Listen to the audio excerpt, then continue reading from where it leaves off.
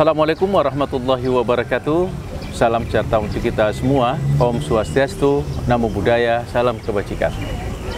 Alhamdulillahirabbil alamin wassalatu wassalamu ala Rasulillah Sayyidina Muhammadin wa ala alihi wa sahbihi wa barik wa sallim amma ba'du.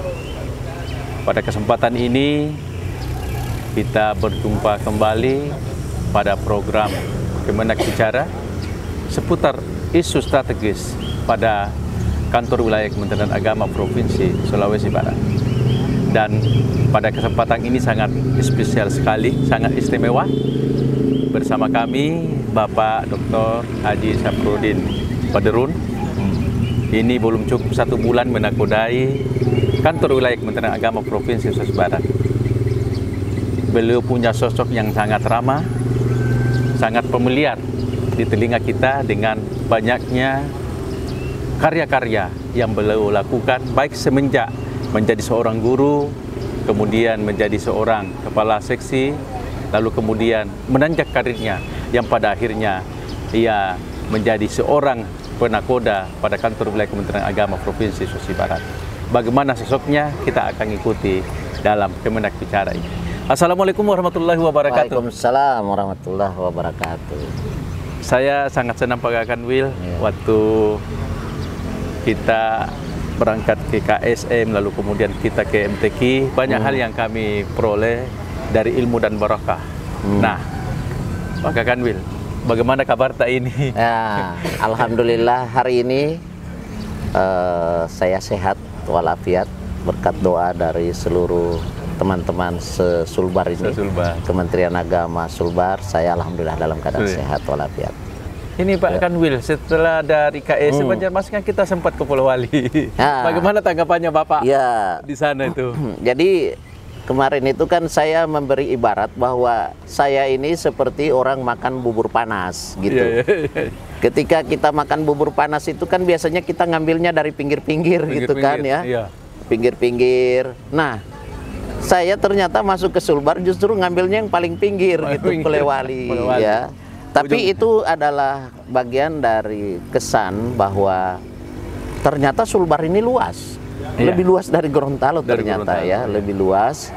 Dan eh, begitu saya tiba di Kemenak Polewali Mandar, walaupun tidak ada yang saya kenal di situ, Iya. tapi semuanya menyambut dengan familiar dan itu Familiar. saya merasa welcome home. saya seperti kembali ke rumah gitu. Bahkan disambut dengan kalindada. Iya, dan saya tidak Masa merasa asing Iya. gitu. Walaupun saya mau menerima tamu di situ, Iya. staf khusus, tapi saya merasa tuh seperti tuan rumah. Tuan eh ini siapkan, ini Siap. udah siap. Ternyata eh, saya kayak welcome home gitu Iya. ya. Mungkin Kembali ke dari perjalanan dari Makassar ke Pulau Wali Mandar itu, memang eh, kalau dilihat dari geografisnya itu agak agak sama ya dengan Gorontalo. Iya, peta-peta agak sama. jalannya. Cuma a- agak enak jalannya, rata Oh, ya. gitu, Kita ya. melewati wilayah Makassar 5 kabupaten itu rata. Rata. Kalau Gorontalo kan rata sedikit, gunung lagi, Gunung. rata sedikit, gunung lagi. agak jauh beda lah. Iya. Nah, ini Pak menarik ini. Siap. Ini tanggal 4 Oktober 2022 menjadi Mhm. sebuah sejarah bagi Bapak karena Iya. Bapak dari Gorontalo ke Sulawesi Barat. Memang, memang pernah Bapak berpikir bahwa akan sampai ke Sulawesi Barat itu? Jadi gini, Iya, iya, iya. eh, ketika kita eselon 2, kita harus sudah siap Siap. bahwa kita itu mau ditempatkan di mana saja. Mana saja. Bahkan di, ditempatkan tempat terjauh pun kita harus sudah siap karena itu sudah merupakan bagian dari perjalanan jabatan, bukan resiko jabatan, tapi perjalanan jabatan itu sendiri. Nah, saya memang tidak kepikiran ke Sulbar gitu ya. Saya berpikiran eh, paling dekat-dekat lah, Iya, iya, mungkin Sulawesi Utara, Iya. gitu ya. Yang Itu- agak sama dengan Iya, ininya dengan yang Gorontalo. mungkin sekarakter Iya, dengan Gorontalo kan. Iya. Eh tapi ternyata ke Sulbar. Dan saya belum pernah ke Sulbar, nginjak Sulbar belum pernah. Oh ya. Nah, dari situ saya eh, ketika selesai eh, pelantikan, Iya. saya tidak kecewa, justru saya senang. Senang sekali. Saya betul. senang Iya. karena saya akan menambah keluarga baru gitu Betul, ya. betul. Saya akan menambah teman baru. Saya sudah langsung Google eh, tentang profil Kemenak Sulbar. Sulbar. Sulbar. Saya langsung tahu jumlah pegawai. Wah, ini seribu seribu lebih orang ini bakal Iya. jadi eh, teman saya. Teman saya, betul. Dan itu bagi saya adalah rahmat, tidak merupakan satu hal yang membebani. Makanya saya kayak welcome home aja kembali ke sini ini. Ah. Makanya saya rasa saya sudah akrab, saya sudah familiar. Dan- wajah-wajah saya kenal semua, tinggal Iya. nama aja yang tinggal saya mau. Dan kami pun di sini sangat berbahagia Ya, karena tentu saya, hmm. Pak Kakanwil ini banyak ilmu, banyak pengalaman, bahkan karya-karya yang ada di Gorontalo yang insya Allah akan bisa ditransfer dan disinergikan untuk kemudian bagaimana Silbar ke depan ini juga bisa lebih baik dari yang Iya. kemarin. Sebenarnya tidak tidak begitu juga sih, terlalu terlalu dibesar-besarkan lah kalau seperti itu. Ya. Bagi saya begini, kita Kementerian Agama ini polanya sudah jelas, polanya pembangunannya, pola sistem kerjanya, pola kinerjanya, pola anggarannya kita sudah jelas. Hanya memang kita harus selalu berinovasi, ya kita harus selalu berinovasi, mencari titik-titik temu, simpul-simpul yang mungkin yang kusut, yang harus kita eh, alirkan dengan baik gitu. Nah, kita kita semua ini kadangkala berada di zona nyaman kerja. Iya.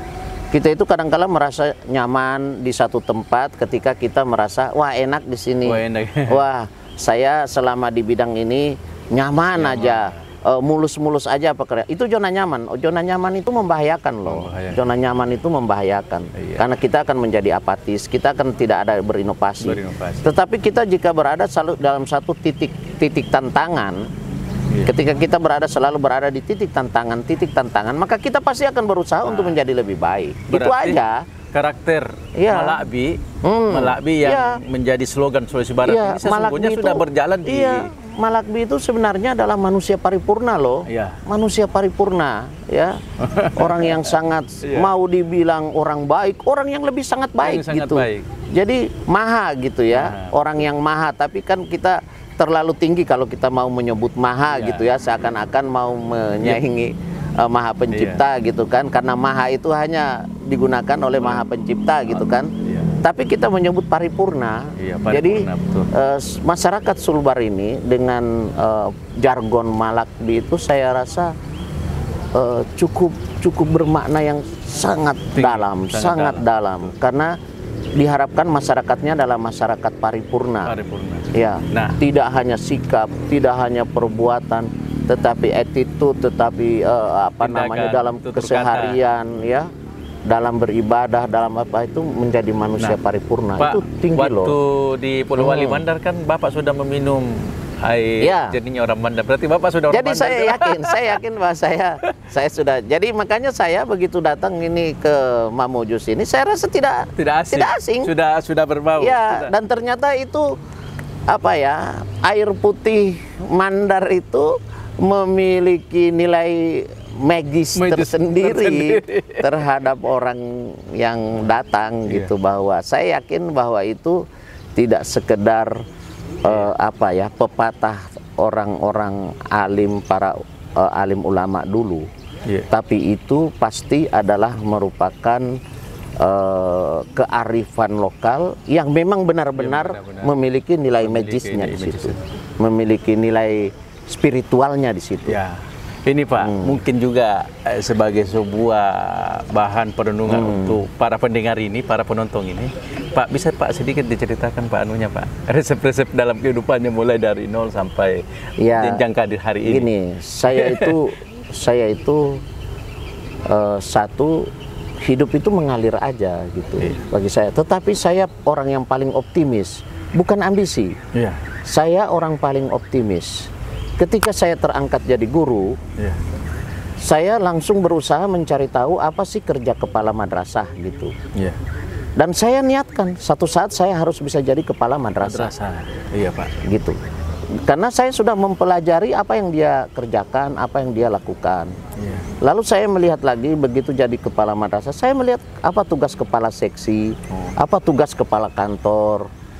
Karena saya yakin satu saat saya pasti bisa me- menggapainya Menggapainya. dengan optimis. Nah, untuk meraih itu saya berusaha untuk memperbaiki diri saya, Iya. itu memperbaiki kinerja saya, ya.